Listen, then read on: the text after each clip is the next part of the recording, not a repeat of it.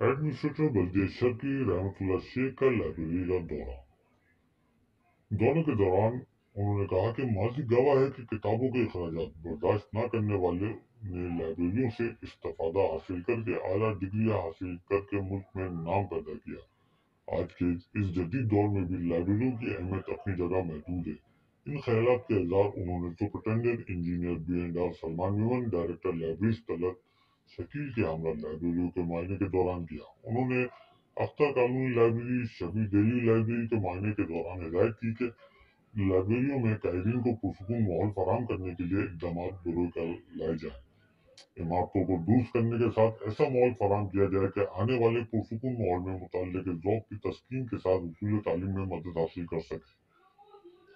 Library کو جدید خطوط پر استوار کرنے کے حوالے سے بھی ہدایتیں جاری کی۔